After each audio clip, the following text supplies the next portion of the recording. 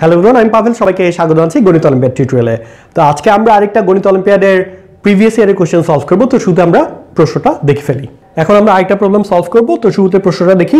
One by two bar one plus one by two square plus one by two cube এইভাবে করতে করতে ultimately one by two to eight পর্যন্ত আমার যোগ করতে হবে।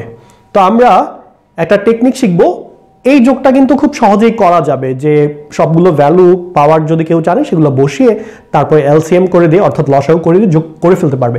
কিন্তু আমরা একটা ট্রিক শিখব, যাতে করে মুহূর্তের মধ্যে আমরা খুব সহজেই বলে ফেলতে পারি অ্যান্সারটা কি হবে। এখানে দেখতে পাচ্ছি ওয়ান বাই টু টু বার ওয়ান অর্থাৎ এখানে আসছে হাফ প্লাস এটার ভ্যালু আসবে one by four plus one by eight আসবে।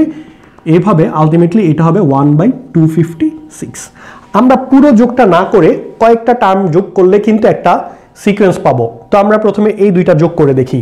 One by two plus one by four আমরা যদি এলসিএম করি, তাহলে আমরা দেখতে পাচ্ছি এখানে ফোর হবে এলসিএম এবং এখান থেকে কিন্তু আমরা একটা মজার জিনিস পাবো যে, দেখতে পাচ্ছি টু ফোর এইট অর্থাৎ আমি যদি one by two plus one by four না নিয়ে তিনটা নেই one by two one by four one by eight সবসময় কিন্তু সবচেয়ে বড় যেটা আছে, সেটা কিন্তু এলসিএম হবে। কেন হবে?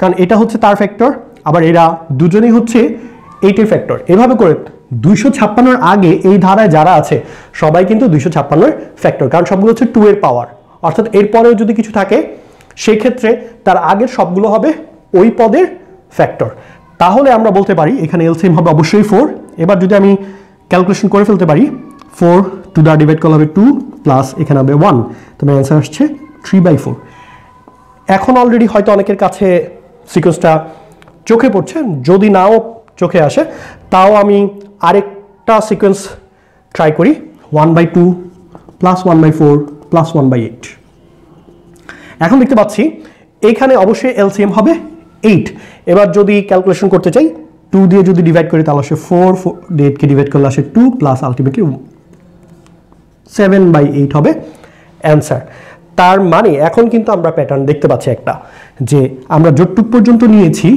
রেজাল্টে সবসময় এই নিচের টার্মটা থাকে, উপরে হচ্ছে তার থেকে এক কম থ্রি বাই ফোর একই রকমভাবে যখন এইট পর্যন্ত নিয়েছি, অর্থাৎ ওয়ান বাই এইট পর্যন্ত নিয়েছি রেজাল্ট হয়েছে সেভেন বাই এইট তার মানে আমি যদি এই পুরোটা যোগ করি, যোগফল আসবে two fifty five divided by two fifty six অর্থাৎ আমরা চাইলে এই সিকোয়েন্সটা যদি অনেক বেশিও দেয়া থাকে, আশা করছি আপনারা সলভ করতে পারবেন। যে নিচে যেটা থাকবে, এটাই হবে আমার হরের মান এবং উপরে হবে তার থেকে এক কম। তবে ধারাটা থাকতে হবে সবগুলো টু এর পাওয়ার আশা করছি ভিডিওটি সবার ভালো লেগেছে। যদি ভালো লেগে থাকে, ভিডিওটি লাইক দিবেন এবং কমেন্ট করে আপনাদের মতামত জানাবেন। ভবিষ্যতে কী ধরনের ভিডিও চাচ্ছেন সেটাও জানাতে পারেন। আমার ইউটিউব চ্যানেলে জানাতে পারেন ফেসবুক পেজে অথবা গ্রুপেও মাধ্যমেও জানাতে পারেন। এবং যদি আপনাদের ভিডিওগুলো ভালো লেগে থাকে, আপনাদের ফ্রেন্ডদের সাথে শেয়ার করবেন। গণিত অলিম্পিয়াড প্রস্তুতির জন্য অন্যান্য ভিডিওগুলো দেখতে চাইলে আমার আলাদা একটা প্লে লিস্ট আছে, সেখানে দেখতে পারেন। এবং আমার একাডেমিক বেশ কিছু ভিডিও আছে, যেমন বিন্যাস সমাবেশের উপর ভিডিও আছে প্রবাবিলিটির উপর ভিডিও আছে ট্রিকোনমিতি এবং ক্যালকুলাসের উপর ভিডিও আছে। এই ভিডিওগুলো দেখলে আশা করছি আপনাদের অনেক উপকার হবে এবং আপনাদের ফ্রেন্ডদের মাঝে শেয়ার করবেন যে এই ধরনের ভিডিওগুলো আমার চ্যানেলের মধ্যে পাওয়া যায়। সবাই ভালো থাকবেন। আসসালামু আলাইকুম।